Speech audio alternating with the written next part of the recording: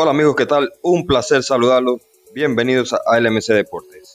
Una nueva semana comienza y empieza también otra nueva jornada de los Sprint Training de las Grandes Ligas. Y aquí te dejo el resumen de la actuación de los peloteros cubanos en la misma.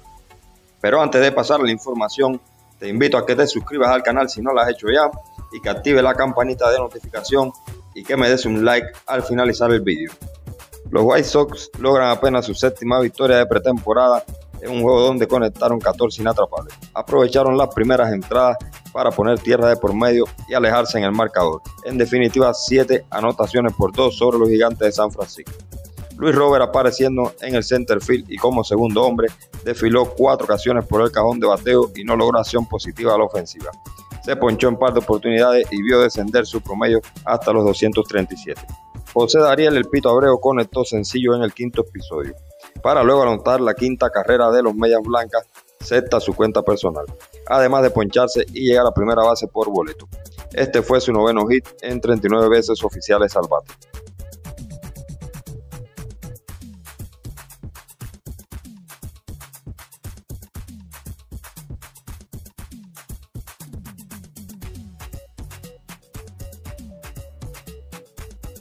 Moncada sigue con su buen paso y por segundo día consecutivo conecta un batazo de dos bases, llegando a cinco en la primavera. En la primera entrada se sumó al rally del equipo luego de conectar doblete por el right field y pisó el plato remolcado por un compañero. El yoyo sigue montado en los 300 de averaje, pero tiene solo dos carreras impulsadas.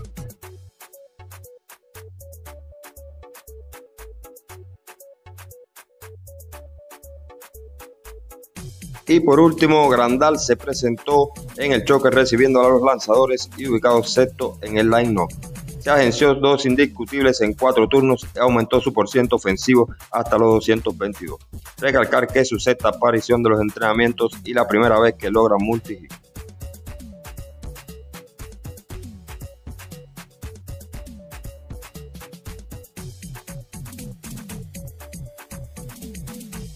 Guillermo Heredia sustituyó a Cristian Pache viniendo a empuñar el madero en la sexta entrada, iniciándose pasaporte gratis a primera. Más tarde tendría incidencia en el juego, pero no sería suficiente para evitar que los Bravos cayeran ante los mellizos. Repitió su visita al rectángulo de bateo en el noveno capítulo y despachó cañonazo de línea jardín central, anotando así una de las dos carreras de los Bravos que no le alcanzaría para remontar el marcador. El Conde llevó su promedio hasta los 250 con tres anotaciones. Recordemos que se está jugando uno de los puestos en el roster inicial de los Bravos de Atlanta. Los maltrechos Reyes sufren su decimotercer descalabro a manos de los Medias Rojas de Boston. Brindaron oposición en los dos primeros episodios, pero luego se tuvieron que conformar con ver cómo sus rivales de turno se alejaban el pizarrón. Dos fueron los cubanos que pisaron el terreno, ambos por Tampa. Randy Arena, haciendo las veces de bateador designado, se presentó tres veces a blandir el madero y logró conectar Tuey hacia la pradera izquierda en la quinta entrada.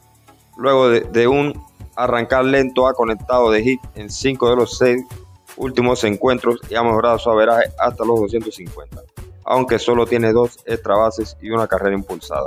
Yandy Díaz conectó sencillo de línea al derecho, trayendo la carrera que igualaría el juego en el capítulo inicial a uno por bando. El villacareño defendiendo la tercera base y como cuarto bate fallaría en sus dos próximos turnos, dejando dos hombres en base. Ha pegado solo seis incogibles en 25 oportunidades y ha traído ocho corredores hasta el home. En un entretenido choque, los Mets sucumbieron cuatro anotaciones por cinco frente a los Astros. Los neoyorquinos casi logran igualar las acciones en la parte alta de la octava, pero no les alcanzó las tres carreras anotadas en dicho inning. Jordan Álvarez va sacudiéndose el óxido de la inactividad. Como todos sabemos, se perdió la temporada pasada por lesión. En el quinto inning logró conectar indiscutible y enviar un compañero hasta la goma. Su tercera remolcada en seis juegos. Su averaje de 176 sigue siendo muy escaso, pero ha mostrado síntomas de ir recuperando sensaciones con el madero. El tunero hizo acto de presencia como designado y cuarto bate en el juego. El Juli Gurriel, defensor del primer cojín y sexto bateador en el orden ofensivo, no se quiso quedar atrás, pegando un cohete en cuatro turnos. Julieski es otro que todavía no logra carburar. Muestra de ellos son los tristes 167 de averaje. Los padres de San Diego y Reales de Kansas City terminaron abrazados en el marcador, con igual cantidad de hits 13 y carreras 9, en un choque que parecía una montaña rusa llena de altos y bajos con ambos equipos alternándose el mando.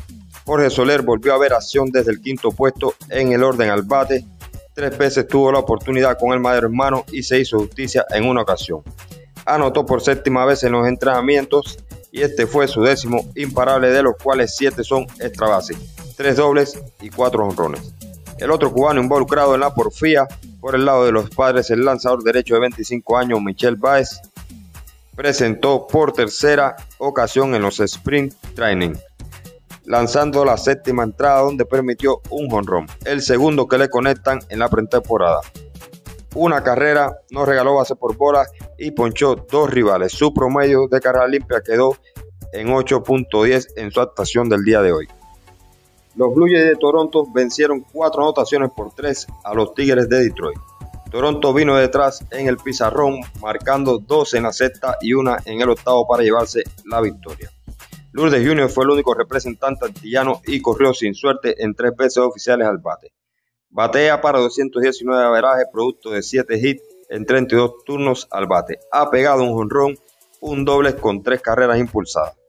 Filadelfia le propina la echada a los Yankees, dejándolos con dos solitarios hits y recetándoles 12 ponches para llevarse la victoria cuatro anotaciones por cero. Y la noticia por los nuestros es que se le envasa el primer hombre de los campos primaverales a Chambal. El misil se presentó en la quinta entrada donde regaló bases por bola y retiró dos rivales por la vía de los strikes. Cuatro juegos lanzados con un total de cuatro innings trabajados sin permitir hit ni carreras. Otro que volvió a tener la oportunidad fue Néstor Cortés y no la desaprovechó. Tomó desquite ante los Phillies después de aquella fatiga salida donde le hicieron tres carreras producto de dos honrones.